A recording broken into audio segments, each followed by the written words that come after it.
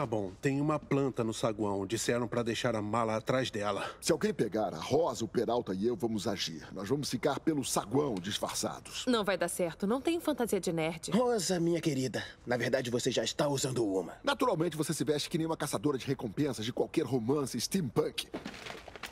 Olha, só precisa de óculos de solda. Droga! Mask on.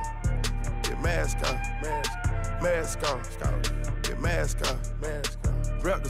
yeah, gotta represent.